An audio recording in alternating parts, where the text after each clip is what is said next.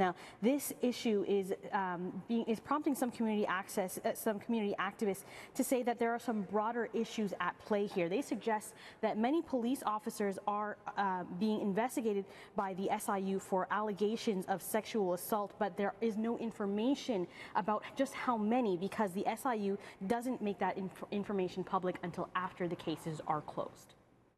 Police officers are being investigated for sexual assault in the dark. This is completely, completely unacceptable. We can't hold police accountable if we don't have basic information about how often and where and when they are being investigated for sexual assault allegations.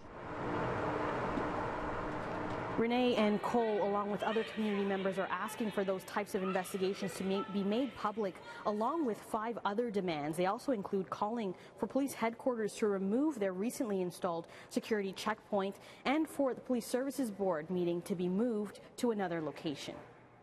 The Police Services Board is there to hold the police to account. So, what I want to know is why do police control the building in which meetings about their accountability are being held? I should tell you, the idea of moving uh, police services board meetings uh, all over the city, leave alone just to City Hall, has been under active discussion for some time, and I would fully expect that in late 2017 or even into 2018, you will see meetings held not only at City Hall, uh, as has been done in the past, but also in other parts of the city.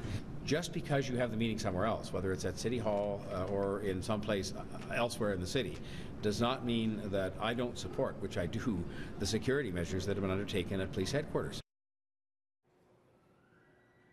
Now, we also spoke with police board chair, Andy Pringle, who says that staff are act actively working to find locations in North York, Etobicoke, and Scarborough for some meetings, but that doesn't mean that some won't continue to happen here at police headquarters in the future.